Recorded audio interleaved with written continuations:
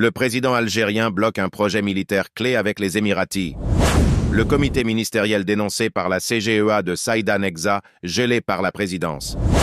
Réapparition mystérieuse d'un général russe proche de Wagner en Algérie.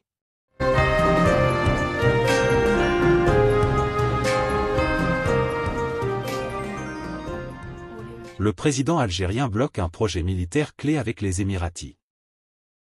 Le président algérien, Abdelmajid Tebboune, continue de renforcer sa politique hostile envers les intérêts émiratis dans le pays.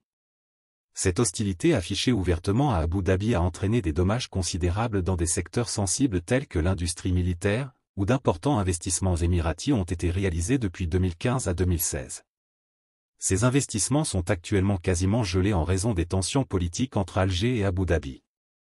Un projet majeur de montage et d'assemblage d'hélicoptères, qui devait être réalisé par l'armée algérienne et des partenaires émiratis, est bloqué. Ce projet, à la fois prometteur sur le plan technologique et financier, est suspendu depuis 2022, suscitant de réelles frustrations au sein des milieux militaires algériens qui désapprouvent cette politique anti-émirat menée par Abdelmajid Tebboune et ses partisans.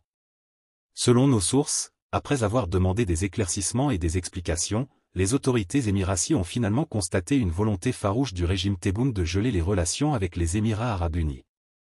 En conséquence, l'ambassade des Émirats à Alger a réduit toutes ses activités au strict minimum, évitant tout contact approfondi avec les hauts responsables de l'État algérien.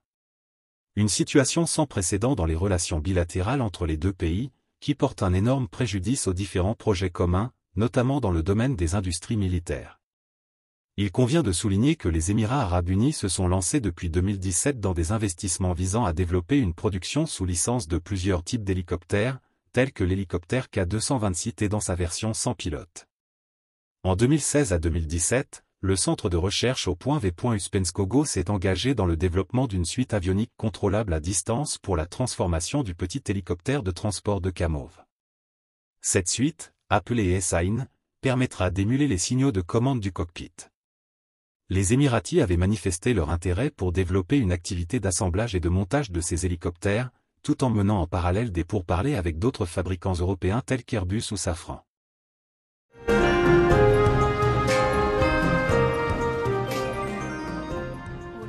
Le comité ministériel dénoncé par la CGEA de Saïda Nexa gelé par la présidence.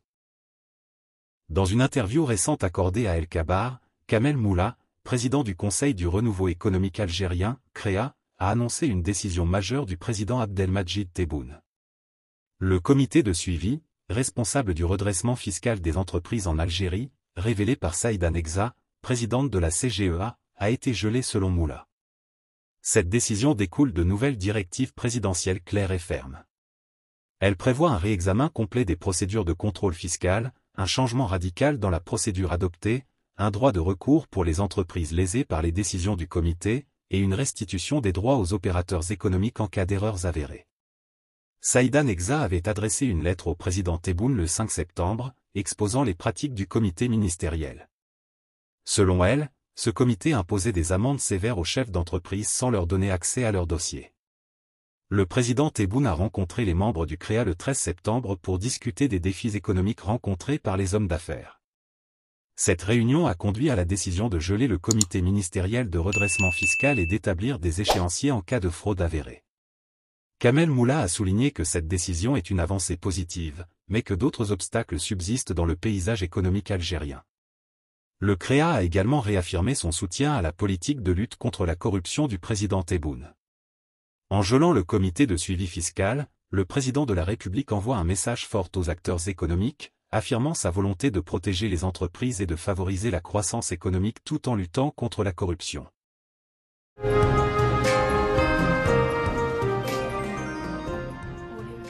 Réapparition mystérieuse d'un général russe proche de Wagner en Algérie.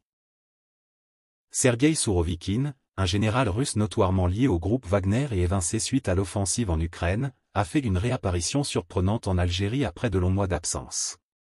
Des images de sa visite officielle à Oran, dans l'ouest algérien, aux côtés de militaires russes et de la délégation russe, ont inondé les réseaux sociaux, alimentant les spéculations.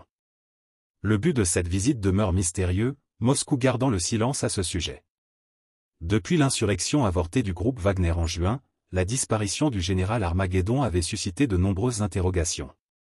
Selon des médias russes, il avait été destitué de son poste de commandant en chef des forces aérospatiales en août, quelques mois après la mutinerie de Wagner, bien qu'il n'ait pas soutenu cette dernière. Le rôle ambigu de Sergei Sourovikine a fait couler beaucoup d'encre, certains suggérant qu'il aurait survécu en jonglant entre deux camps. Bien que, lors de la révolte de Wagner, il ait appelé les mutins à se calmer, le général était néanmoins perçu comme proche d'Evgeny Prigogine, le chef du groupe, décédé dans un accident d'avion en août.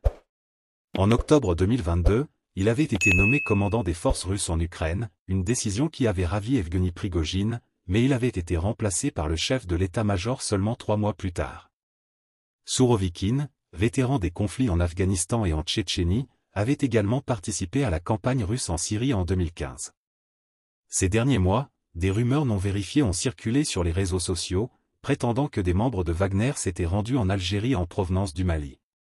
L'Algérie, allié traditionnel de la Russie et principal client pour l'achat d'armement, près de 2 milliards de dollars en 2020, avait fait partie des 37 nations qui se sont abstenues de voter en faveur de la résolution exigeant l'arrêt immédiat de l'usage de la force par la Russie contre l'Ukraine, le 2 mars.